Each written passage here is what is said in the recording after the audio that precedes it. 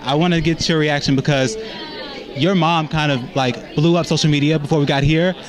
Beyonce dressed as Toni Braxton for Halloween. What was your reaction when you saw? Uh, at first, I know it's Beyonce at first because I was at school. I like saw a quick glimpse of it, but then my mom says like, "Yo, Beyonce was your mom for Halloween." I'm like, "Oh, that's cool. That's dope." So it was cool. It was great. Amazing, amazing. Now, lastly, since this is the screening of Never Heard, I want to know because this is your night, man. What is a random fun fact about Diezel Braxton that we've never heard? Um, I don't know if you guys know, but I recently signed with Wilhelmina Models, so I just want to shout that out there.